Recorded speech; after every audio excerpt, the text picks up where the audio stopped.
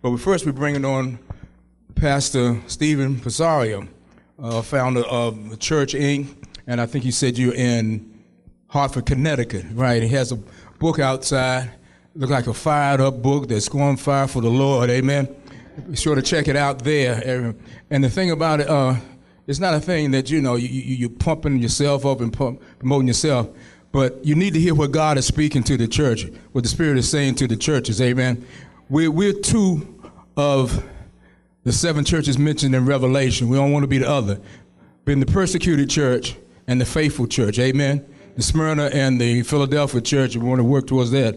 As uh, Reverend Carey was saying, you know, it's not about the, the, the size, because we heard some testimonies what people have done with, you know, what people say, oh, some some pastors then to get big head. I'll get into that when I get into session later in DC. Oh, you got under 50 members. You don't have any members. We don't have any members. They're disciples of Christ.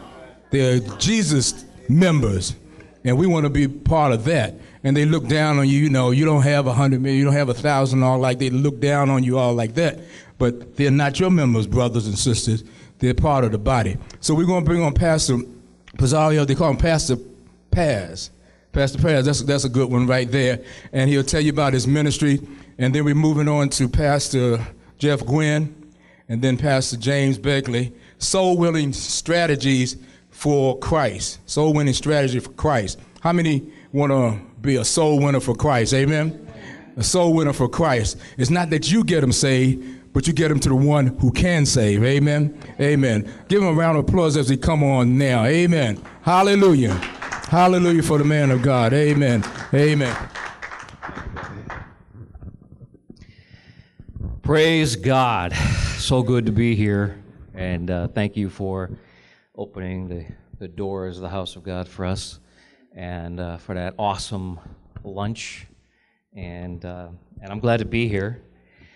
It's my first opportunity to come and uh, worship and fellowship with my AEA family. And I became part of AEA family in 2009. Uh, graduated the seminary, and um, it was really it was a long, hard, and, and prayerful uh, decision to to go through that route because you know God has a will and a plan for everybody's life. Amen. And man has a will and a plan for every man too. And I wanted to serve God. And in my heart, I knew what I was doing for God was serving God. And I didn't need a piece of paper from a man to tell me it was okay for me to go out and preach and win souls. And it sounds kind of interesting or funny, maybe even, that I say that because I do understand teaching and, and, and being trained and being discipled, but it's still, at the end of the day, it's, it's a piece of paper, and God looks at our heart. And I went through the process of seminary and, and that so that I could show myself approved and learned and qualified and at the end of the day, I do the same exact thing I do and did before seminary and before licensure and ordination. However, it does open doors, and and and there was a tremendous amount of, of you know information that I was able to download, and uh, it really helped me to understand and and also understand the process. Also to help me, you know, as as so many uh, of uh, what has been spoken about today here, we're talking about the church and the condition and the heart of believers and what God sees and, and where we are as a body of Christ and where we should be. And, eh, you know, the process sometimes of reaching people who have perhaps gotten a little uh, off track. Part of that training I understood, now I was able to understand through the, the training and through the education process. And, and really, I was more made aware of a lot of theologies and doctrines and you know things that were out there and it, it, it, allowed me now to go back and and shore up you know my own personal apologetics and the ability now to say hey brother you know we're we're in this together you know have you considered this? And, and try to help steer people back and, and get people back on fire and not about the numbers and not about uh, you know the reputations and all the titles and all the things that people are trying to do right now and so and i was really really excited to find a um, an agency like the aea that would base you know their acceptance of somebody like me on my credentials of having completed studies but also of my heart and my passion and and results for serving God. And so I'm very, very, very uh, excited to be here. And I was asked to come and minister on strategies for soul winning. And I, I thought to myself, well, that's great. But then they said, well, you got to do it in 15 minutes. and I said, okay, you know, Lord, you've opened a door. So how would you have me to walk through this door?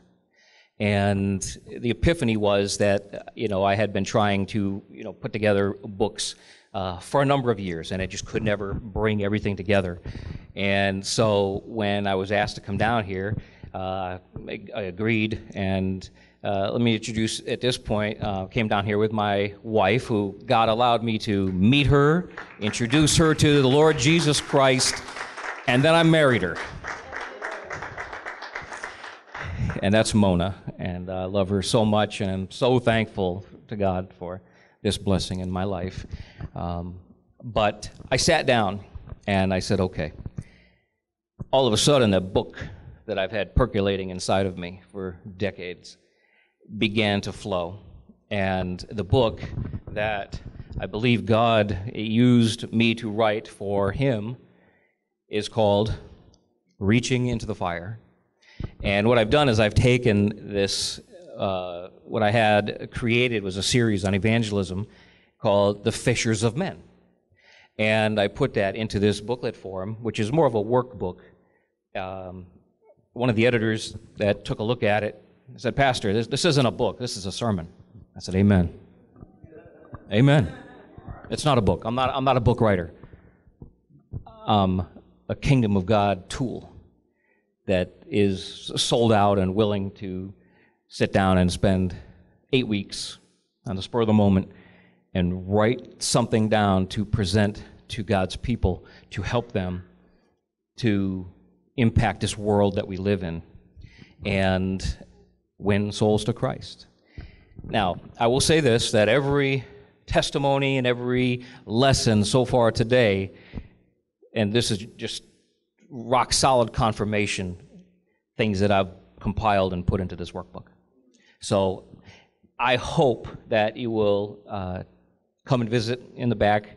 And you know, this is a workbook. I, I, I know there's not a whole bunch of people here, but there's pastors here, and there are people here who have ministries. And my desire would be that you would take this book and, and buy a bunch of them. I mean, I brought 90 down and you know take this back to your church and, and use this as a tool a bible study a teaching or something um, to help help get the fire back and you're not going to find this as a book of a um, uh, you know a real exciting book where you're going to want to jump around and shout and, and, it's not a fiction book it's a workbook it's a, a self workbook so this message is to the church it's a book for the church and it's 20 years of, of my blood, sweat, tears, praying and fasting and seeking God. Um, and it's here. And I thank God for the opportunity to bring it and share it with you.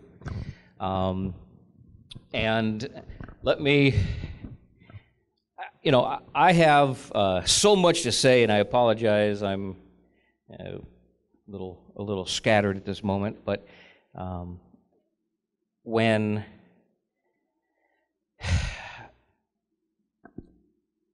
well i'm going to read a, a scripture here actually. It's uh, ephesians. We're all very familiar with it. We talked about it earlier today. Uh, ephesians. And the office of the evangelist is is sometimes quite often actually uh, misinterpreted or misunderstood for personal evangelism people often think of an evangelist as someone who's going to go out and win all of the lost but I believe it's different. The office of the evangelist is to is and was given to the church. Okay?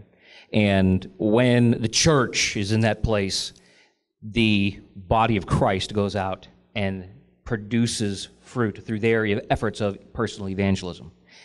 And so many people, I've heard it so many times, well, you know, that's, that's not my gift. And, but that's our, those are our marching orders.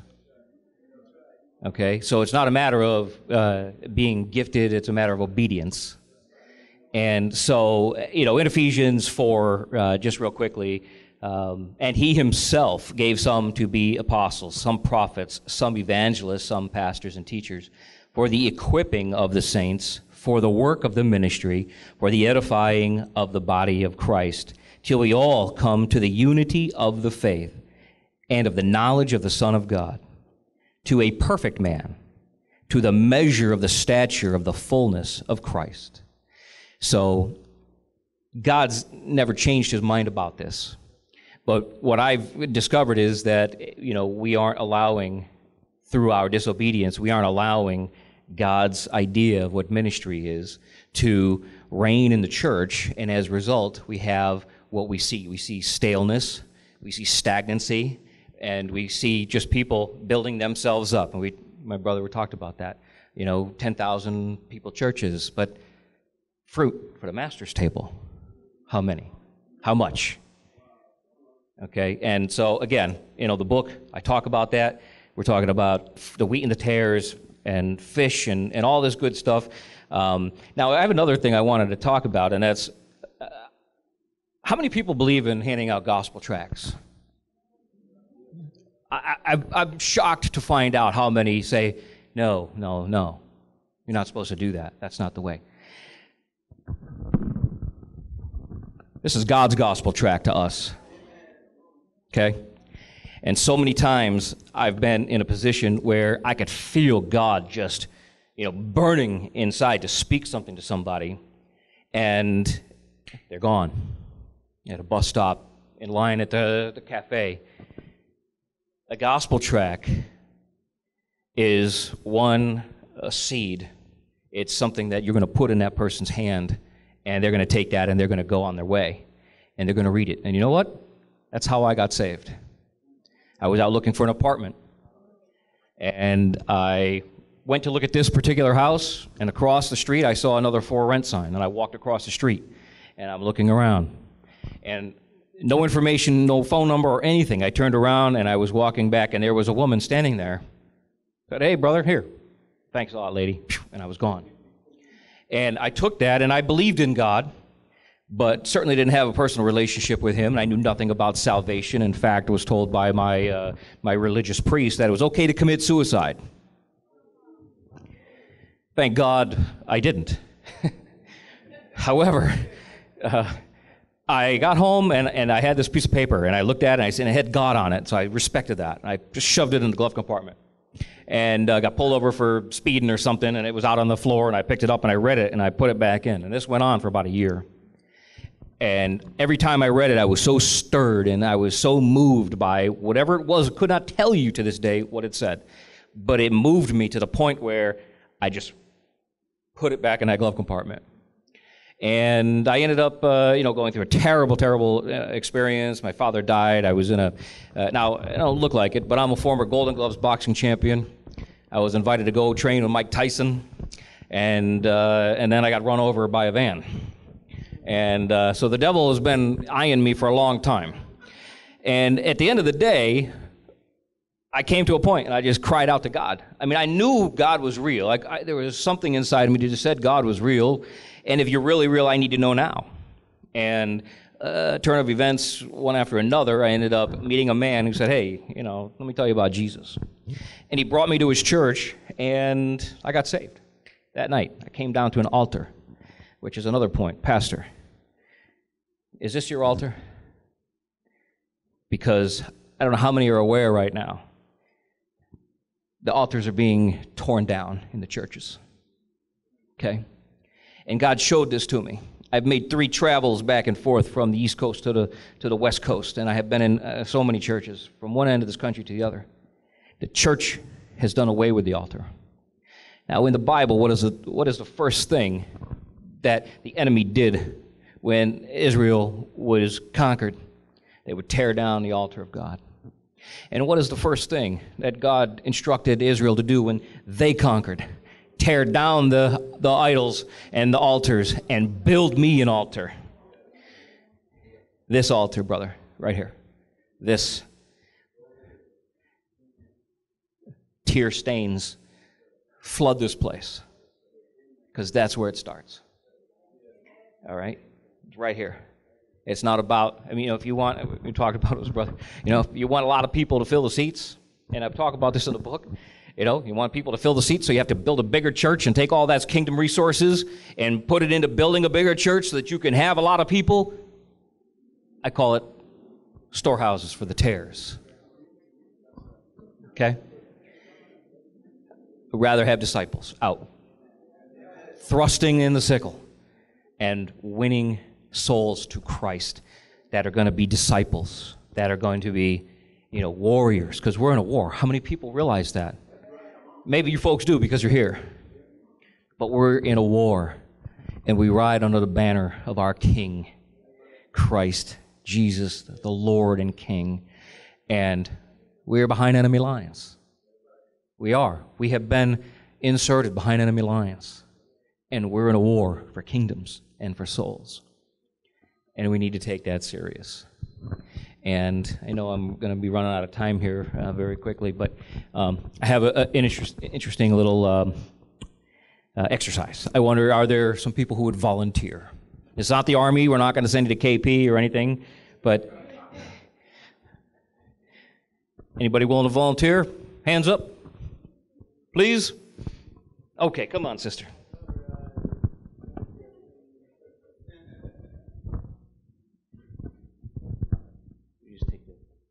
Stand right over there. Come on. I need another volunteer. Another volunteer. There you go, sister. Brother, would you join me? And your lovely wife? Come on, brother. Stand with me. Here we go. Thank you. Because I'm not really not asking, actually. God bless you. Brother, here you are. All right. I got a couple more. I got a couple more. Come on. Sister, join us. Sister, would you join us, please? Okay. Um, well, you didn't actually line up in the order I gave them to you in a particular order, and that's my fault. But you all have a number on the back flap of your your envelope, and I guess since we're out of order, it doesn't matter. Praise God, we're out of order for Jesus. All right, brother, go ahead and uh, open yours. I don't want you to, to say anything or do anything. Go ahead and open. Everybody, open your envelope, and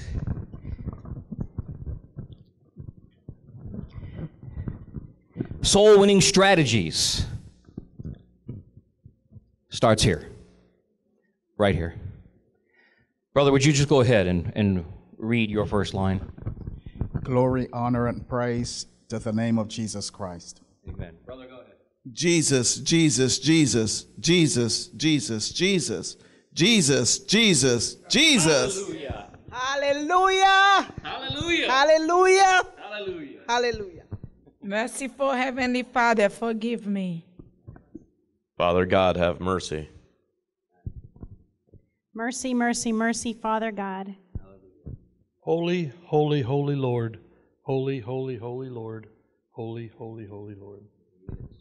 Father God, I plead the blood of Jesus Christ for the lost and the dying. Father God, I plead the blood of Jesus Christ for the lost and the dying. Father God, I plead the blood of Jesus Christ for the lost and the dying. In the name of Jesus, Father God. In the name of Jesus, Amen. Father God. In the name of Sister, go ahead. Jesus, Savior, Redeemer. Amen. Jesus, name above all names. Amen. Jesus, Lord, help me. Now, everybody, all together, read your card. Read your card like you mean it. Hallelujah. Jesus, Jesus, hallelujah. Praise the name of Jesus. Pray to the Lord of the harvest For the fields are ripe unto harvest, the laborers are few. Hallelujah. Brothers, sisters, church, this is where it starts, right here. It starts right here, and it doesn't end until the hot tears are flowing down your face for the lost, for the dying, for your unsaved loved ones, for the co-workers, for those who are under the demonic influence. This is how it starts. And that's really all that I can say other than we're not God, we're not the Holy Spirit, but He has a plan. And if we allow Him access to our heart, if we allow Him access to our lives, to our substance, there's a, there's a tough one. Our substance and our time. Each and every one of you and everyone here, you are all personal evangelists. And where you work, where you play, everywhere you go, that's your vineyard. God has let it out to you. And as a church, as a body, as you gather the troops and go out and take armed with the tracts and the Word of God and the Holy Spirit and go out into your communities and thrust in the sickle. Thrust in the sickle. They're not going to walk through the door by accident. We're going to go out and get them. We're going to go out and catch them. Fishers of men. So praise God. Thank you. You can keep the card as a souvenir. God bless you.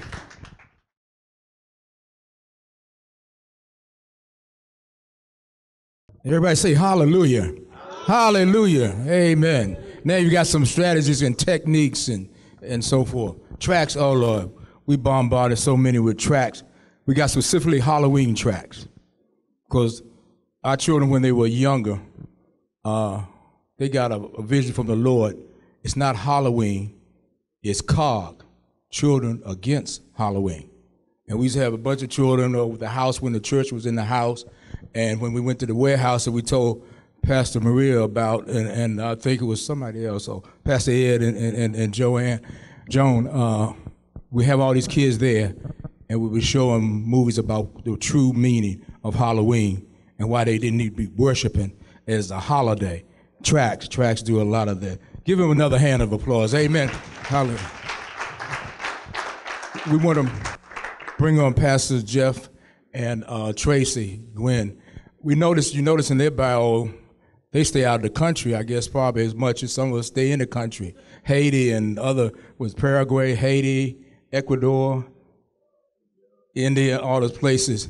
And I know they have some strategies because when we were at the graduation, Pastor Ed, they had a statistic that the bishop from New York gave uh, as a guest speaker that you think we're in the minority, we're really in the majority. He said in 1900 there were was it one for every 360 people were Christians, and it went down until it got to the 1990 or something like that. Do you know was one out of three are Christians? That's more a majority than minority, amen? So, so strategies they'll probably able to give you because there's revivals going in places like Colombia. There are revivals over in Guyana, Pastor Henry. There are revivals going on all along. So we want them to come up and give some of their strategies and techniques for winning the loss at any cost. Amen. Amen. Thank you. I feel like this microphone has an afro. It's, it's an aw- awfully big. it's a bald one. Okay.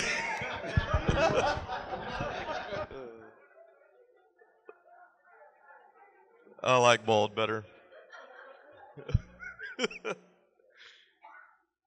soul winning, soul winning strategies for Christ. Um, when I was asked again for uh, 15 minutes to uh, to share just uh, what we do and, and what I uh, have experienced in in our ministry. Um, for me, you know, we're evangelists, and for me, it's like talking about the air. It's it comes so natural because it's something not that I craved or, or desired on my own, but God birthed it within us, and um, there's nothing more that I want to do, nothing greater that I want to do than to to share my faith with others and to uh, help others find their way. And uh, uh, just a real quick poll here. Um, if you got saved in the church or because you stumbled into a church by mistake or whatever, let me see your hand if you got saved that way. And if you got saved because of a relationship outside the church, somebody introduced you to Christ or some other means that way, let me see your hand. See, the rest of you, we're going to have an altar call because not everybody raised their hands. So, might want to get that out of the way. The evangelism starts now. Um, what I what I've learned to uh, realize is is uh, um, one word is love. Christ came here. He loved people. He loved he loved us so much that he died for us, and it was out of that love that he he was able to uh, um, minister and to win people for him.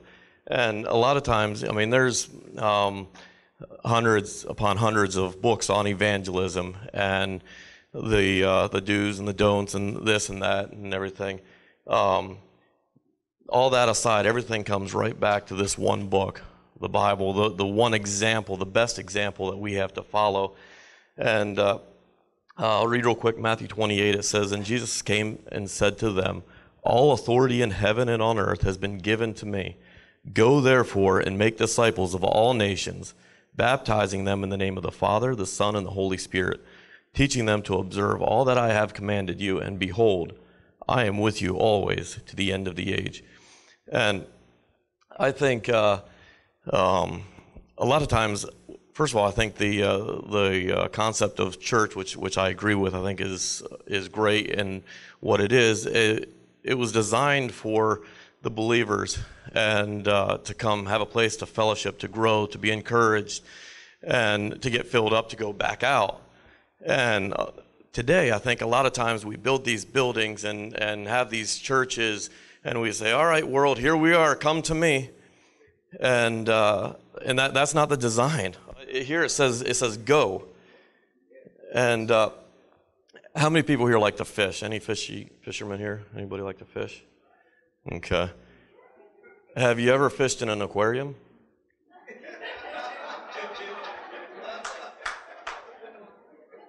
Got to get out. There's a whole sea of, of fish out there. That's what, that's what we're doing a lot of times. We're, you know, even, um, you know, I know people, they, they'll, uh, they'll bring people to church and expect the pastor to get them saved. I brought them, I brought them, get them saved for me. Man, you get them saved and bring them to church to grow. It's,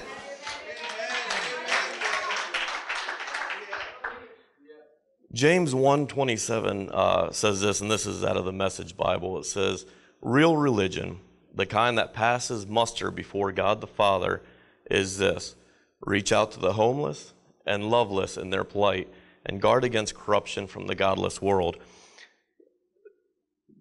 Most of those people, the, the homeless, the, the ones that are struggling, when, when they're down like that, they're not thinking, "I need to get to church."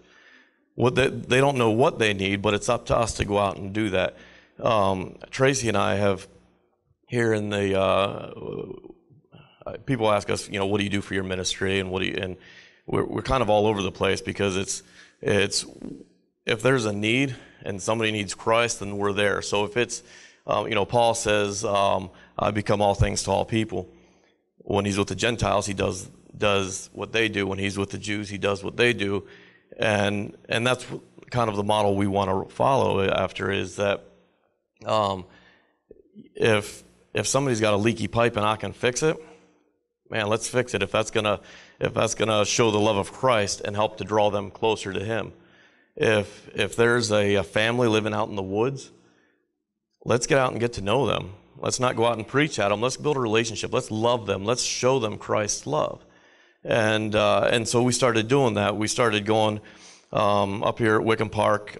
Um, we started back in August. We've we learned of a, uh, a lot of homeless people living in the park in tents. Some with families as young as uh, kids as young as three months old, living in a tent. Teenagers, and so we were out there doing an outreach with some other uh, friends of ours, and and we've really felt like this is uh, um, an area that maybe be, maybe is forgotten. The Catholic Church will go out and they'll give money and, and some things like that, but they're not really getting ministered to, not out at this place. And so, and and I believe that the chances of them walking into a church is slim to none.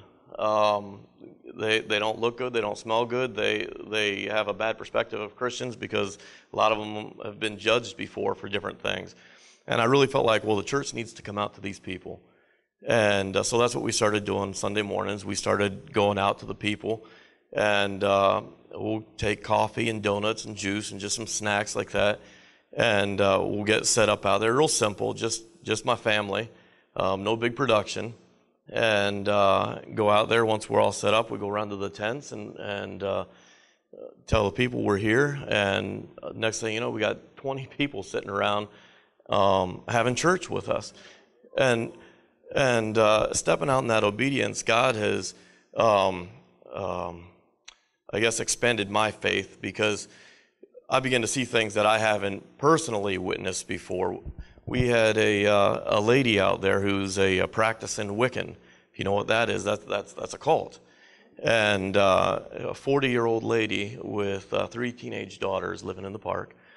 And she, we she came to the service, and uh, we're sitting there and uh, she didn't make eye contact with me the whole time I'm talking. And I felt like um, when we're done cleaning up, I said to Tracy, I said, I think I need to go back and talk to her when we're done. I felt like there was something I needed to say or something more needed to be done. And so we got all done cleaning up, and I turn around, and when I turn around, she's standing right there. And uh, I said, "Can I help you?" She says, "She says, can you pray for me?" This is somebody who, who uh, is a practicing Wiccan. She prays to the devil. And I said, Well, I said, Absolutely. I said, What do you need prayer for? And she says, The doctors told me I have cancer. Cancer runs in my family. And, and uh, she says, I, I'm scared. And I, I explained to her again about salvation and, and what that means. And she says, Well, I'm not ready for that. And I said, Well, I believe that God can still heal you. And so uh, we, we got around her and uh, we prayed. We believed for a healing. And uh, when I went back to visit her a couple days later, she had already gone to the doctor, and the doctors couldn't find a bit of cancer in her body.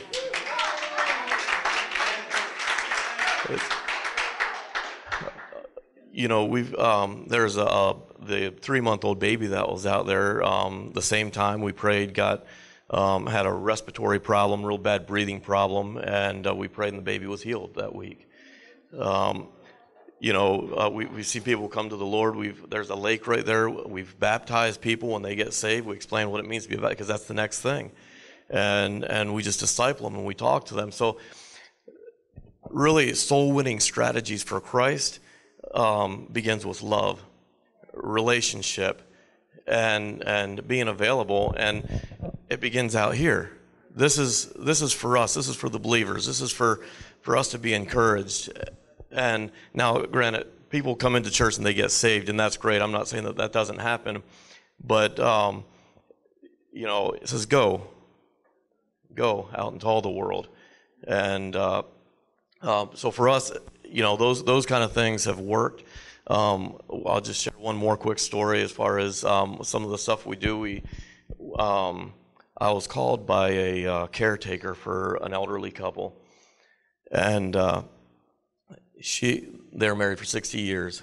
She's suffering um, really, really bad with dementia, and uh, he takes care of her as much as he can. But there's somebody that comes in, and so the caretaker actually called us and said that when uh, she goes to get into the shower, she can't lift her leg. It's just a small curb, but she can't lift her leg, and so she scrapes it over the tile every time. Every time she cuts her leg, and the husband just he he calls me in. He says, "I don't care what you got to do. I don't care if the bathroom floods. Get rid of the curb so she doesn't keep cutting her leg." And so so we went in for our initial visit, and he shows me what what he wants done and what he'd like me to do. And and uh, when we're done, we, we sat around the table for about 15 or 20 minutes, and I got to share Christ with him. Um, in his 80s, never never heard the message of Christ. Um, I sat around for 20 minutes, got to pray with them, share Christ with them, and uh, I had a friend with me. Um, had gone to look at the job with me, and and when we're walking out of the house, he he asks me, he says, "How much do you think if they had to pay somebody, how much would that cost, or would you charge if you were charging?" And I said, "Probably about three hundred dollars. Not a not a big job." And he says, he says, "Did you see that ring on his hand?" He says, "He had some pretty nice things in there. You think he could afford three hundred dollars?" And I said, "You know what? He might might have been able to." But never in a million years could I have knocked on his door, sat at his kitchen table, and talked to him about Christ. He wouldn't have let me in. But I used the gifts and the tools that God gave me to be able to get into his house. I don't care about the job. That's, that's just a bonus for them. Um, our objective is to get into the home and to be able to pray and to be able to lead. We've seen people come to the Lord through that, through that. And uh, so you know, I guess that's my time. And uh, uh, thank you for giving me the opportunity to, to share something that's just such a, it's, it's God's passion. And he's, he's made it my passion and Tracy's passion. And, and this is what we, what we do. Thank you.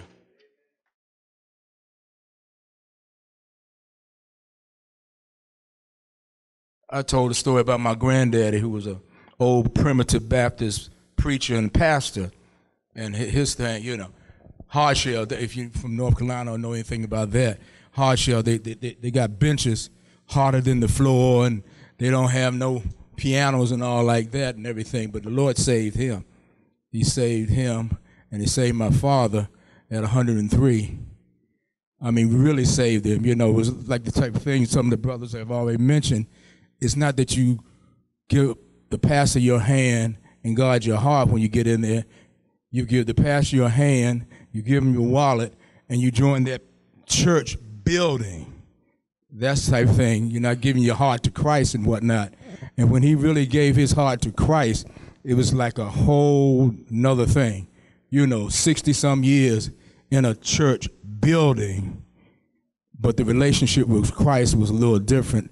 But when he changed at 103 and, and whatnot, it was another world because he went to glory at 105, almost 106, and he was a different man. We're going to bring on uh, Pastor James uh, Begley and his wife. He'll bring you some perspectives on the freedom, wholeness, and counseling. And let's bring him along with that. He has a wealth of information and many years in uh, Christian counseling and counseling. That part that uh, Pastor Ed mentioned, the wonderful, the counselor. We're to be like counselors to the lost. Amen. Come on. Let's give him a hand as he come forth.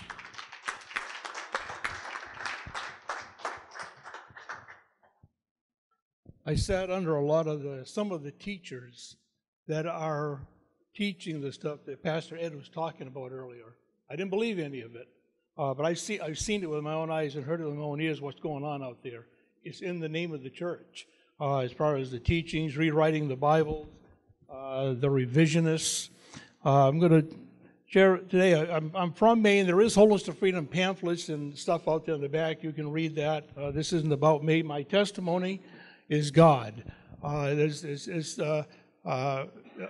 back up just a little bit. I pastored uh, in Maine for over 25 years. I was 31 years old when I came to this thing called the church with zero church Bible Christian background. So I came into this thing called the church without a clue what it's supposed to look like, act like, sound like. Christianese, I don't know. I didn't know what that stuff was. And I got hurt a lot by religion, but I wouldn't change that for anything. As I was praying about this strategy, and I was, I've been weeping for weeks. Uh, talking about setting up the uh, the altar of the Lord, rebuilding the altar of the Lord. Okay, the wake up call. How many of you are familiar with the wake up call? It's going across the nation, it's going across Brevard County, and we're setting up groups in people's homes, grassroots, rebuilding the altar of the Lord. And uh, things are happening miracles, teachings. People are coming to an awakening of uh, who God says He is. And there is a difference between who God says He is and who man says He is. Um, so at 31, um, the, the testimony is about God, and this comes down to a one word strategy. Uh, and um, the uh, 31, as I just said, no prior. Um, the as it comes to this right I'm going to have to stick with what I have because if I don't, I'm going to be all over the place after what I've heard today. I feel like I'm on overload. Uh, this, uh, this Bible, these are not stories. These are encounters with the living God of all creation. And we miss that in our religious Western world view of what the church says it is, and sometimes it isn't. And, but these aren't stories. Man sees a crowd. All through, even through Scripture, man, you look at how man words this, it says a crowd. God never sees a crowd. God sees every man, woman, and child with a name and a face. Father God, He's the, the beginning and the end, the Alpha and the Omega, and there is no one in between whom He does not know personally and he knows them each one out of his kesed, his heart, his, his loving kindness, which draws to, draws to repentance, through the heart of the cross, through Jesus. Okay, and um, coming to strategies, we are trained in our culture a lot of times of, about strategies our programs. And you look up the word strategy, usually it's used with uh, military, economic, political, psychological, all that kind of stuff, but always ends up in some kind of a program to produce results in the form of numbers. And this isn't about numbers. No one in this room is a number. Everyone in this room is a human being, is a person created in the image of God. And so, strategies, uh, not a program. When I was in seminary, uh, I was in school at 31, freshman in college, seven years full time year round. And that was a trip and a half. My oldest daughter told me, Dad, if you do it right, we can graduate together. I did, and she did, and we did. And um, but one of the courses that I took, uh, this was in, in a, I'm not even going to name the school, it doesn't make any difference. But one of the courses was Seven Steps to Salvation and it, I in here it didn't set right. I no, what's so I put up my hand, being the new kid on the block, of new believer, and I put up my hand, and Professor Carpenter, I said, uh, uh, I, I'm, I don't understand. I said, in my life, in my experience of God in my life, uh, I was I was lost, and now I'm found. Once I was blind, now I see. Once I was that, now I am this. Once I was that, now I am this. You add it all up. The, the, the one point of salvation is Jesus. I didn't understand it. I still don't understand it. I would tell God this day, I tell God, God, I don't understand this, and I don't want to. I don't want to end up thinking like religion thinks or like the world thinks. I don't want that in here. And, uh, and so this whole thing of strategy and coming to God and experience Him for who He is. I had a personal encounter with God. I grew up without a father. I go to church at 31. I hear a message. I didn't have the language, but the pastor was just a wonderful spirit filled man of God. And he was talking about how marvelous the love of the Father. Well, that didn't go very well with me. I didn't, you know, didn't connect. And it was uh, the following Sunday, I heard the same message. Two days later, I gave my life to the Lord. And because I encountered the love of God in my heart, I physically felt this God come and touch me. And it went right through me. And that's a whole different story, but uh, there's a lot more to that than just that. But um, the, at the time uh, when that happened, I was a dead man walking and did not know it. And I never heard, no, no one ever came to me and talked to me about this. No, I, I didn't hear this stuff. Now, I knew what a church building was, but I didn't have a clue of the God, much less a personal God behind it. Now, and the fact that I'm in the ultra liberal northeast state of Maine, liberals, you know, all that kind of stuff, is still no excuse for not being not hearing the gospel truth of the Father's love. There's, there's, you know, church, wake up. The church needs to wake up. The true church. And I'm not afraid to use that word. Paul uses it. The true circumcision, those who are, are true believers. How many of you know that there are a lot of Christians and a lot of churches know a whole lot about God, but they don't believe God because they don't know the difference? They're believe, and not, that's not a put down. This, we need to look at reality. We need to look at reality so we can start speaking the Father's heart through here. If we can't do that, the, the church, that I'm talking of believers, are the only authority on the earth that can speak on behalf of God. And that's by His design. That's by His design, not, not ours. Ephesians, I love this stuff in Scripture. I just, I just love. I love the Word. And, uh, you know, where His workmanship, created for good works, etc., preordained before the foundation. That's Ephesians 2.10. From day one as a believer, I've had a line. I got one in this Bible right there. You can see it. From 2.10 over to 3.10. So that the multifaceted wisdom of God would be made known now through the church. And so we're the vessel, the instrument for the love of God to come through. Going through this as I was praying uh, the strategy, and God gave me a scripture, and I'm going to go to a scripture. I, I if I, if I share the scripture, you're going to be looking at scripture, and I'm going to be going over here, and you're just not going to follow me. So God showed me just to use the scripture to bring this all together. Um, the strategy that He gave me was impartation. Impartation. We all know this up here, but how many, we bring this down, Holy Spirit speaking to Spirit, and Spirit speaking to Spirit. Pastor Roy Pike, it was an impartation by the Spirit of God of the Father's love of the Father's heart directly to me. And I physically, emotionally, mentally uh, experienced that. The Jesus is on the, the throne. He is the head of the church. Correct? This means yes. Okay. This means no. Okay. And we are on the earth he is the head given by God, placed by God, Ephesians 1.22, to be head over the church, the body. Therefore, we are a literal extension of the head who is on the throne. You getting that picture? And so the body, uh, as, as the, the, the body of Christ in the earth, in spirit speaking to spirit, uh, turn to Revelation, uh, turn to 1 John 1.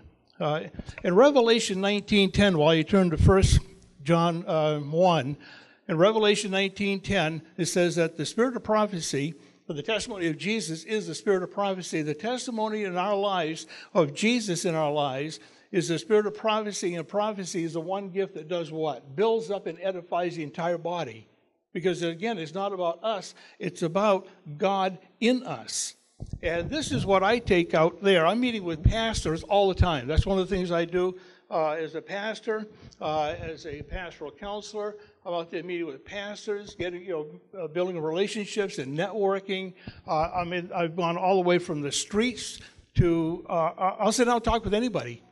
And I, I, I, love that, just sharing the love of the Father. And, um, and so the, the uh, impartation, the, the, the heart of the Father as a strategy, of, of winning people, of bringing people to the love of the Father, bringing people into that saving relationship of God, is impartation by the Spirit.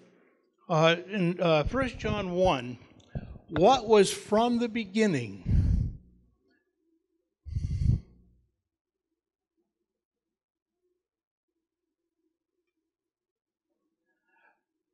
What was from the beginning, what we have heard, what we have seen with our eyes, what we beheld and our hands handled concerning the word of life. And the life was manifested, and we have seen and bear witness and proclaim to you the eternal life, which was with the Father and was manifested to us. What we have seen and heard, we proclaim to you also that you also may have fellowship with us. And this is our fellowship, indeed, with the Father and his Son, Jesus Christ. That which we have seen, which we have touched, we have, we have handled, we have heard. We, in this encounter, this encounter with the living God in our lives, is the strategy of impartation by the Holy Spirit of God. And we, as the body of Christ, the embodiment of, of who He is in us. One thing I can say from my experience of God and is his love to me is that I know who I am because I know to whom I belong. Period. In the story, and I do my best to live out of that with mentorship through the body. None of us are, are excluded from that. And I, I, all ministry flows out of relationships. He is the one who imparts to us, in us, and through us. And I think those are three words that God is dialing up to the body. What God has given to you is not yours to keep. Who you are, you, you, you are who you are because of the one who lives in you. And, and what, that which he has graced to you is not yours or mine to keep. And so the impartation, getting this picture up here, we are ambassadors, we are children of God, whatever word you want to put in there. We are his creation, to whom, in whom, and through whom comes the impartation of the Father's heart, the impartation of the Father's love, you know, going back to the miracles, I've seen miracles, even in, in Maine, I've seen miracles. Five tumors gone, eyes opened. I've seen that. And that what, what we refer to as the supernatural should be the natural in the body of Christ. Because it's not about us, it's about Him. He's the one that's doing this. All I am, all we are, are vessels. Again, impartation, letting the Holy Spirit flow. I'm a pastor, but Jesus is the minister in the sanctuary. That's in the book. And so we hear God speaking. And as a pastor, we had, I'm going to stop with this. We had eight of us pastors in Maine. This didn't happen overnight. Now, this in itself is a miracle. We had seven, eight of us pastors that literally, I know that's only three, seven or eight, literally flowed in and out of each other's services. Because when we heard from God that a pastor had a word for, like, for example, in our congregation, I sat down, believing that God was speaking. And guess what? The people loved it. We taught it, taught it to the congregations. Pastor called me one night and said, I believe God is stirring a message for Sunday morning for Midcoast. That's where I pastored. Sunday morning, he came. I said, if God confirms that, you come. And he did. I sat down. There was a Southern Baptist, uh, uh, eight, eight, different congregations, okay? It doesn't matter which. And I'm going to close with this story uh, from a Southern Baptist uh, pastor who for 52 years, he came to Maine, you know, Southern Baptists are great at getting groups together and going out across the country and helping other churches. And um, he came up to Maine, and uh, pastor the Southern Baptist where he was, he and I were close friends. And uh, make a long story short, he came to visit us at our prayer meetings. He came to some of our services, and he called me one day and he said, Pastor, he said, I need to talk to you. And I said, Sure. So we got together, and he said, I, I, need to know what's going on. He says, I was troubled when I came in here when I saw the vision, and the vision is, is on the brochure. Mission and creeds come from man, vision comes from God. And there is a difference. Okay? And uh, he said, When I saw the vision that was written up there and heard what was coming out of your mouth from the Father's heart through you, he said, I was deeply troubled. He said, You should have a packed house here. We had, at the time, it was like a year old congregation, maybe 25, 30 people. And he said, I was troubled. And he said, So I started talking to your people. And he said, I, I, I'm got convicted. He said, Every single person said the same thing that they experienced God's love in their lives. He said, for 52 years, as a Southern Baptist around the country, I examined church programs, growth pro- programs in the churches, and what we're supposed to do with them to increase the numbers. Tears started coming down his eyes. He said, after 52 years, I would give anything to have what you have here. And so it's the impartation of who God is in us. His love, His healing. I, I my weeping is that the church, we're not there yet. That's why we need each other more than ever. Coming alongside, we need us. The, the people of God will rise to the degree that the shepherds of God will stand and together walk with Him. Amen. Thank you.